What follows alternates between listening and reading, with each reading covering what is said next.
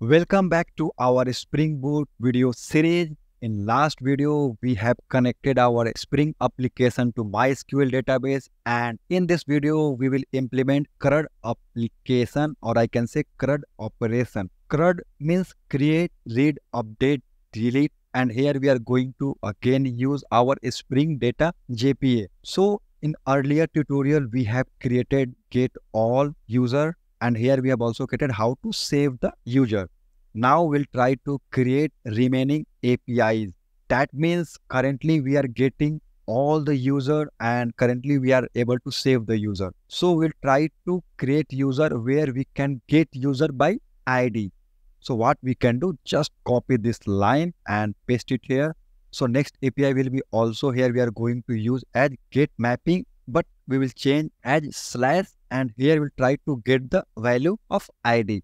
That means if you pass ID of any user like 1, 2, 3, here we'll get the data. We no need to return as a list because list thing already we are doing here because it is returning all the user data.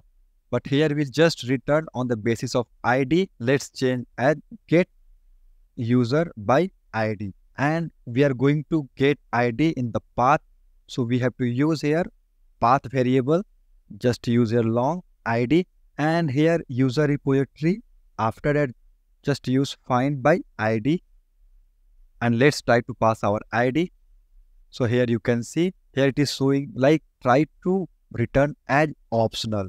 Because that might be chance you'll try to pass id and will not get any user. So let's create an exception class. So whenever there's no user we can just return like user not found something like the message I'm going to create a new package and I'm going to give the name as exception handler and let's create our first exception. Give the name as resource not found exception and here we'll try to extend the current class from runtime exception. Just give the space. Now we have to use annotation as response status. So let's use response status and here we can just say like http status not found. So just use here value equal to http status dot not found. So let's create a constructor. And we'll try to pass the message from constructor.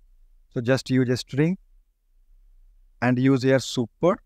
Just pass your message here so we have created this class because whenever there is no data, we'll try to return a error message. So let's go to our controller and just use here find by ID dot or else throw. And what we can throw here, just use here arrow function. New resource not found exception, copy this class and pass your message here, whatever message you want to pass. So let's first of all import this class. I can say here user not found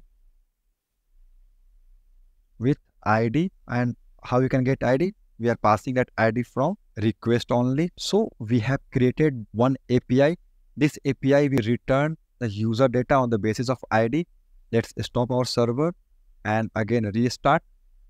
So copy the current url and this api is also get here. So let's try to pass id as a one so you can see we are getting perfectly our first data.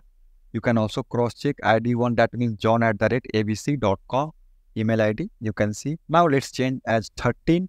So we'll get an error. So we are getting the message as not found, but we are not getting message like user not found because we have added that message here actually we can get this message but for that we have to create a global exception handler. And on that time we have to pass our message and we can get the data. So i'm not going to create that one but for now let's keep this structure. So in the future we can easily extend our error message. For now you just understand here we are keeping http status not found and here we are also getting not found. So for now three api has been created create a user. Here we have to use as a post method and we have to pass the data as a json body. Get all user. It is a get method that will return all the list of user.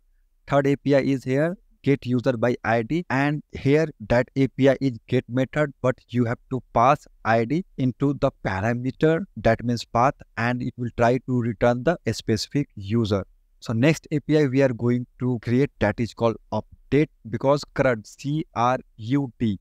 So create is done, read is done. Now update is pending. So let's copy this one and change as here put mapping because whenever you want to update anything, just use here put mapping and here also let's try to pass the id using the path variable so let's change the function name as update user again we need here path variable as id so first of all we have to see like there is any user or not. So what we can do just copy this one and create a object of user like user. Let's change the name as user data.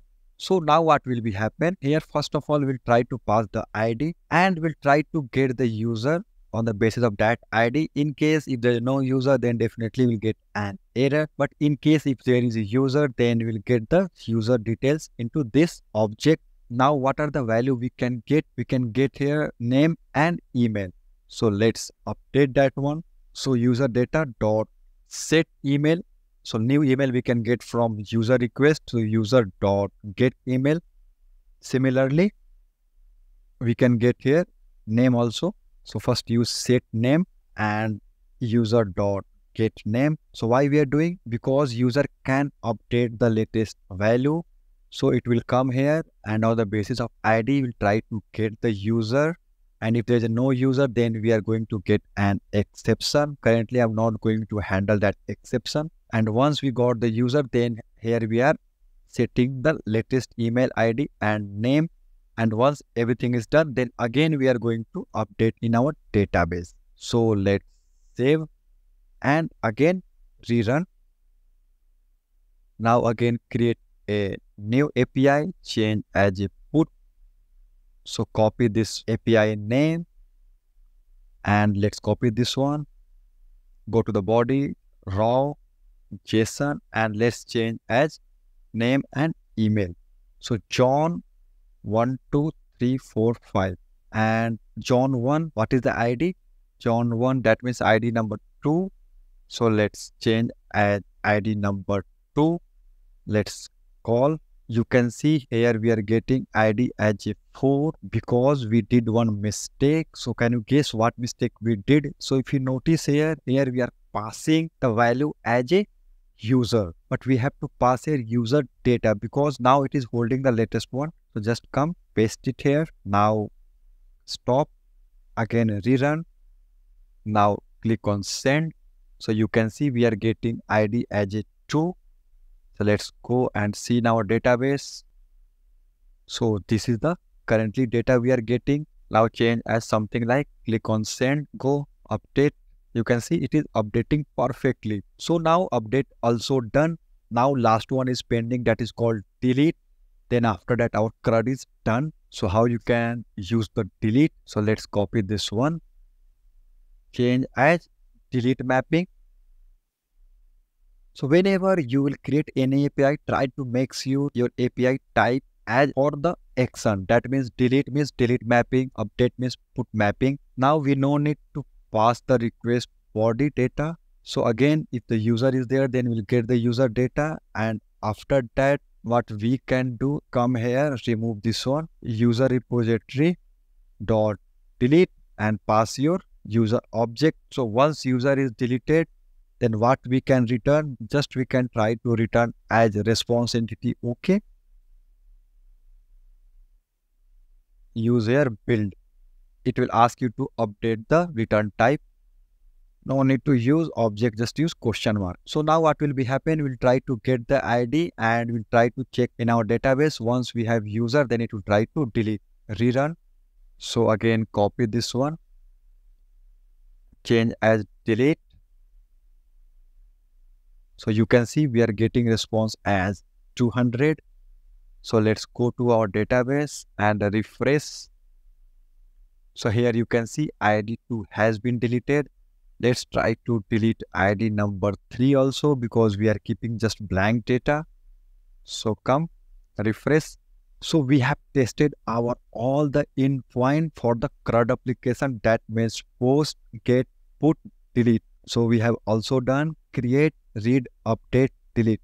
So thank you guys, we have successfully implemented our first CRUD application in our Spring Boot application. In next video, we will learn how to document our all the API using the Swagger. That means currently it's very hard to track all the API. But once we'll implement the Swagger, then it will be very easy. And after that, you can also perform all kind of CRUD application without Postman.